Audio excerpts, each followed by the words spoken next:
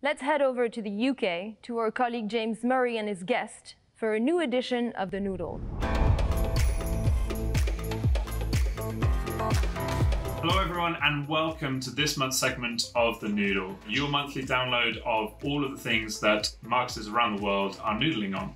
Today, we're going to be talking about change, and specifically, we're talking about sustainability. And so, I'm delighted to have three experts with me in this field. We welcome Sophie Bodin, CEO of search engine Lilo, Anna Lungley, Chief Sustainability Officer at Dentsu, Ellen Wilson, who is the Smart Cities and Sustainability Lead at Microsoft Public Sector in the UK. This is a topic that has a lot of attention and hype around it in the industry and media.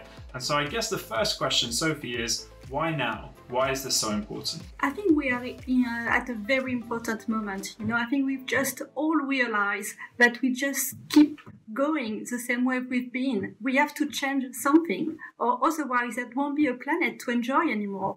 At Lilo, we are a search engine with substance.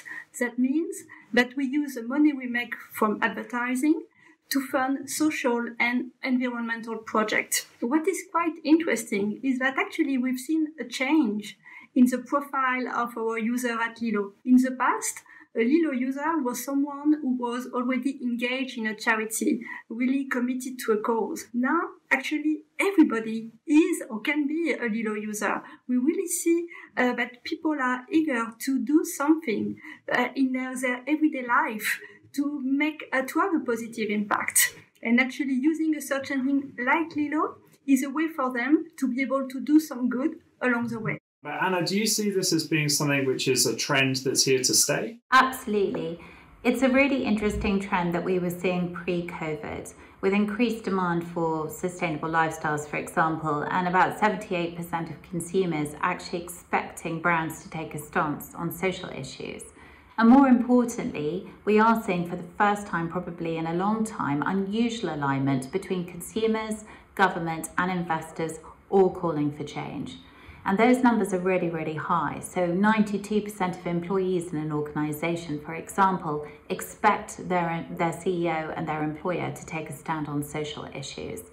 So this is really unusual alignment and business and brands have no choice but to respond and, and pay attention one of the things we've seen is that COVID has been this sort of huge catalyst for very rapid transformation. And, and I think it would be easy to say, well, this, this trend in sustainability has come about because of COVID, but that's not really, it's not as simple to say that, is it? No, no, it's definitely been a trend that's been about for, for many more years. If we think back to the Paris Agreement in 2015, where we had a lot of nations to commit to some really good goals, or even the um, David Attenborough programs throughout 2018, or Greta Thunberg's protests in London in 2019. It's been a momentum that's been building, both from a consumer and from a business side.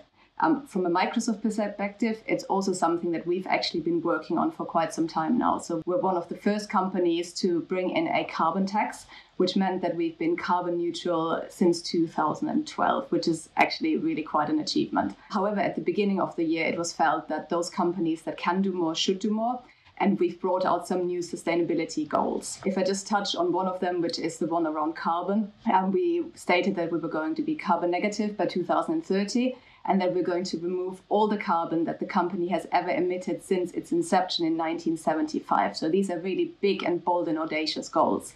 There is an appreciation there that we're not quite there yet when it comes to tech and that actually that we need some innovation. So we've put aside a 1 billion dollar innovation fund to help with that. Not every brand has that option. So what are some of the things that, that people who are listening to this could uh, take as advice on how they can start to embrace sustainability more? First, I think they can advertise on Lilo. 50% of their advertising budget will be used to fund environmental projects. So that's a, a, good start. But more roughly, I would say that authenticity is really a key word. I think that each brand, each company really needs to find its own way, uh, which is consistent with its value, with its culture, to be able to embrace uh, this change. And that's a great message and something that I really sort of uh, agree with. Ellen, I guess the problem with some of these measures is that uh, when you do this, it's a great, uh, great for the cause, um, but not always good for business. So how do we square that circle? So actually, sustainability also is good for business. So there's studies out there that have proven that sustainability in itself um, doesn't just differentiate the, the brand like we talked about earlier, but also generates business opportunity. It is a change. We really need to move from a more of a linear model to more of a circular economy. And it's a change that Microsoft that we had to do as well. Um, if we think back to the iPhones and the iPods, they used to get smaller and smaller and smaller. And when the screen broke, we had to basically get a new phone. And we're now designing products with repairability built into them. So the idea is that we can use the products for longer and thereby reducing waste and carbon footprint. And that's great to hear that the a company like Microsoft being so proactive in the measures that it's uh, taking in order to make a difference. On the flip side, Anna, though, we know that there are um, real risks of companies not sort of abiding or heeding this warning of, of the trend of moving to sustainability. Absolutely.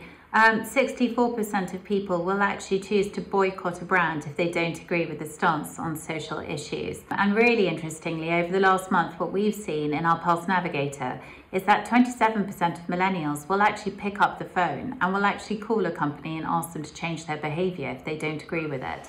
So there's huge consumer pressure out there. Thank you to all of our speakers for that really interesting and stimulating conversation. It's clear to me that this is a topic which is only going to increase in its importance and is something that's going to be on everyone's agenda going forward.